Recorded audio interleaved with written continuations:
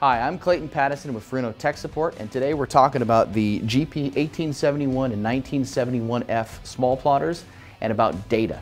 We all know that data is important, from position, course, speed, depth, heading, you name it. It's all important. So I'm going to show you guys how to set up a data box so you can display exactly what data you guys want.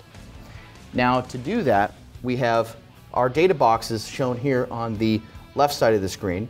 I can touch and hold on any one of these and it will give us a couple of different options to delete this box, add a new one, or we can edit what's in this box currently with anything that's on this list. And we can make it either text or graph. So say for example, I want to display heading in there.